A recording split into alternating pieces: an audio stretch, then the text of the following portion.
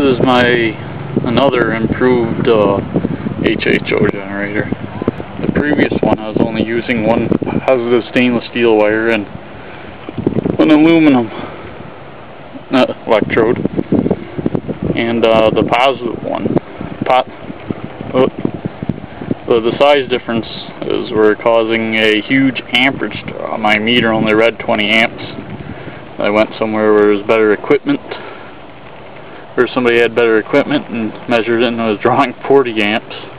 Crazy. But this, now it only draws 15, 15 amps just by adding a new positive wire on.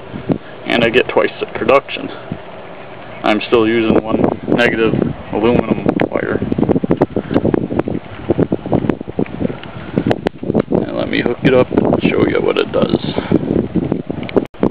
Now here's what the new improved oh, old improved design, oh, old new improved design does in terms of production.